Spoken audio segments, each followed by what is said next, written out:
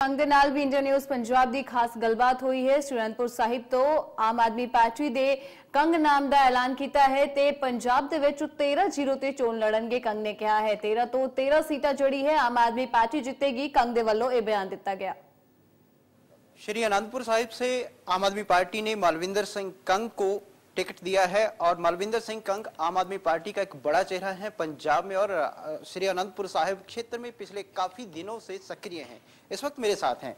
पहले तो बहुत बहुत मुबारक आपको और बहुत बहुत शुभकामनाएँ धन्यवाद। शुक्रिया। इंडिया न्यूज़ को बहुत बहुत धन्यवाद।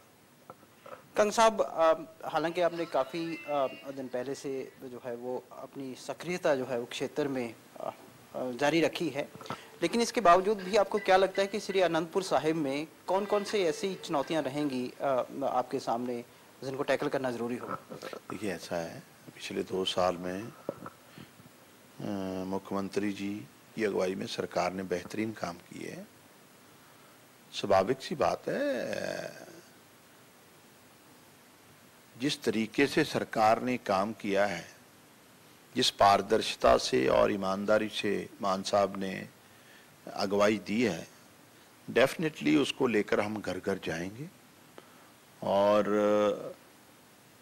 पंजाब को मजबूती देने के लिए, पंजाब के तमाम वर्गों की बेहतरी के लिए जो सरकार ने काम किए हैं, उससे पंजाब के लोग, खासकर मैं जब अपनी कॉन्स्टिट्यूंसी की बात करता हूँ तो अनंतपुर साहब, श्री अनंतपुर साहब में लोगों में सीएम साहब और इनकी सरकार के प्रति बहुत तसल्ली है और उनका भरोसा लगातार बढ़ रहा है।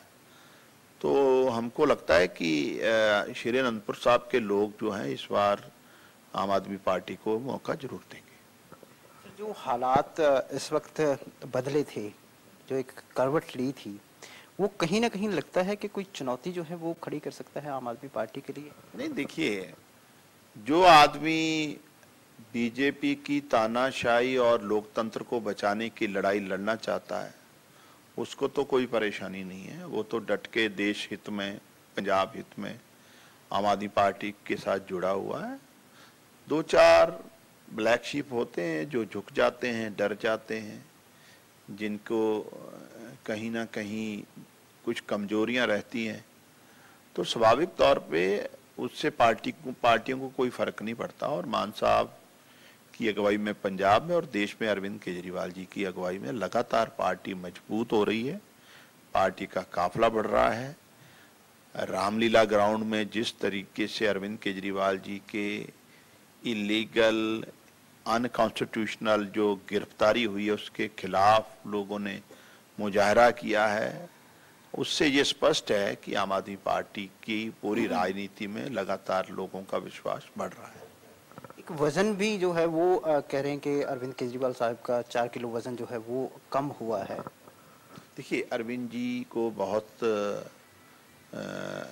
गंभीर समस्याएँ हेल्थ से जुड़ी हैं और डेफिनेटली वो लगातार उनकी मेडिसिन चलती रही है और लेकिन जिस तरीके से ये भाजपा सरकार का जो रवैया है एक चुने हुए मुख्यमंत्री को लेकर और जिस तरीके से उनको परेशान किया जा रहा है, जिस तरीके से उनको इलीगली डिटेंशन दे के ना सिर्फ़ उनकी सेहत बल्कि मानसिक तौर पर भाजपा लगातार उनको परेशान करने की कोशिश कर रही है तो उसका असर उनकी सेहत पे गया है।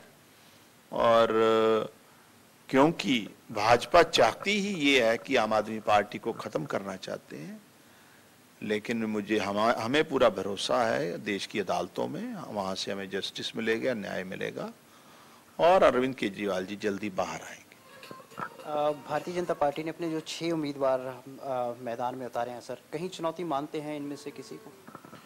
देखिए पंजाब की जो धरती है वो अ, सांझीवालता की बात करती है, समानता की बात करती है, भाईचारक साँझ की बात करती है।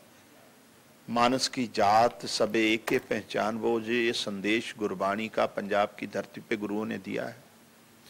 भाजपा जैसी पार्टी जो सिर्फ़ और सिर्फ़ भाईचारों में दरार डालने का, नफरत की राजनीति करने का, दलितों के, महिलाओं के खिलाफ जो अत्याचार इन लोगों ने किया उनका पंजाब की धरती पे कभी ये कामयाब नहीं हो सकता। पंजाब बचाओ यात्रा जो चल रही है श्रोमणी अकाली दल की उसको कहीं आप मांगते हैं? क्योंकि ऑलमोस्ट जो सारा पंजाब है वो कवर कर रही है वो। देखिए वो आ, पंजाब बचाओ यात्रा नहीं है क्योंकि पंजाब तो इन लोगों से ही बचाने के लिए आम आदमी पार्टी को दिया गया है अमान साहब की अगुवाई में। इनकी जो ये यात्रा है ये सिर्फ़ और सिर्फ़ परिवार की राजनीति बचाने के लिए परिवार का जो एम्पायर है उसको बचाने के लिए यात्रा है।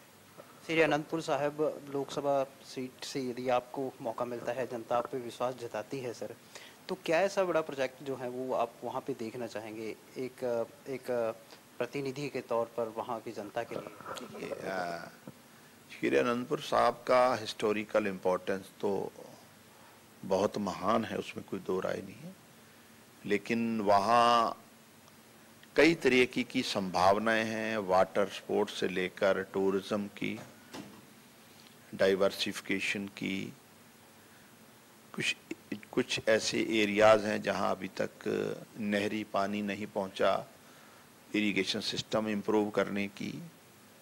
और खासकर खेलों के लिए यहाँ बहुत बड़ा टैलेंट है और स्पोर्ट्स अकेडमियाँ सो अगर श्री अनंतपुर साहब के लोग आ, मुझे मौका देंगे नुमाइंदगी करने का तो डेफिनेटली श्री अनंतपुर साहब रोपड़ और नवा शहर तमाम जो एरिया है इस लोकसभा के अंतर्गत उसको उसको टूरिज़्म पॉइंट ऑफ़ व्यू से भी इम्प्रूव करेंगे और जो जो लोगों की वहाँ मांगे रहेंगी, उनको डेफिनेटली एड्रेस किया जाएगा।